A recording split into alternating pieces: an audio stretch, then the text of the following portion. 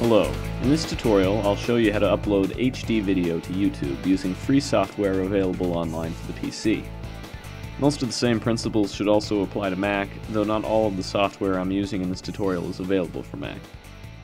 The three pieces of software that I'm going to use in this tutorial are VirtualDub, MPEG Streamclip, and QuickTime, and you probably already have QuickTime. I've included download links for these programs in the video description.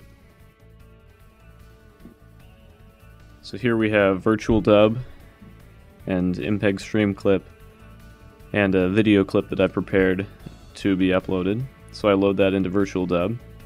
Then I go to Video, Filters, and I click Add Filter. And from there we click Brightness, Contrast, Gamma because we want to raise the gamma. And this will brighten the image, which we need to do because YouTube tends to darken it slightly. I click OK. And then we also need to resize the video to format it for HD on YouTube. So to do that, resize, and we want to change the width to 1280, and just let the rest of it calculate. And then we want to letterbox it to 1280 by 720. Now that creates black bars around the sides to keep the proportions of the image correct. And if your image is actually not as wide as the 16:9 ratio of YouTube video, then you'll want to set the height rather than the width of the video resolution to make a height of 720 pixels. So once you've done that, go to File, Save as AVI, and choose a file name and location. We'll want to specify a new name so that it doesn't save over your old video footage. And then it should begin rendering and rendering takes a little bit of time to process all the video footage. So make sure that you uncheck show input video and show output video as this will speed it up somewhat. So skipping ahead once the video is finished rendering, you can get out of VirtualDub, you'll have your new video, and you want to open that in MPEG Streamclip.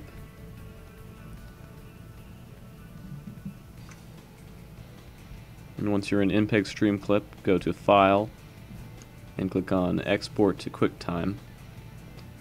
And from there we have a number of options. You want to set the compression to H.264. You can try other compressors, but that's what I use. And I find that quality around 85% is about as good as you need. Doesn't make much difference after that. And then set your sound compression to MP4. Now the frame rate you'll need to adjust depending on the frame rate of your original video. My video was originally 15 frames per second. So to compensate for this I had to change it to 30 frames per second which doubles each of the frames because YouTube's HD video has to be at least 24 frames per second. And then once these settings are set all you have to do is click OK and you should be good.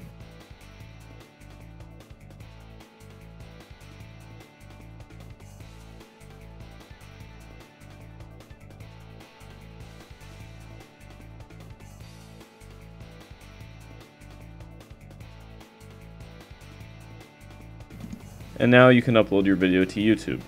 Now the video should probably only take a few minutes to become live, but the HD version of the video may take several hours before it comes online. That's because the HD version of the video takes longer to process, so don't think that there's a problem when it doesn't show up right away.